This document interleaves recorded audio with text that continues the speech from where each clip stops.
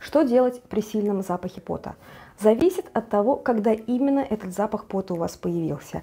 Если вы так пахли всегда, возможно, у вас слишком активная бактериальная флора, и эту проблему нужно решать с дерматологом.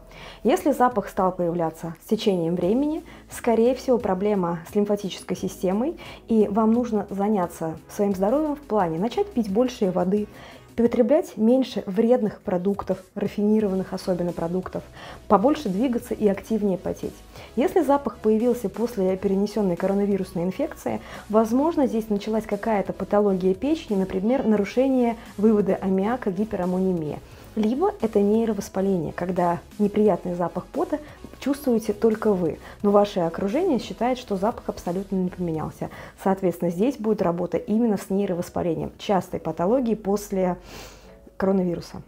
Чтобы помочь вам справиться с этой проблемой, я подготовила для вас бесплатный открытый урок. Чтобы посмотреть его, переходите по ссылке в описании к этому видео.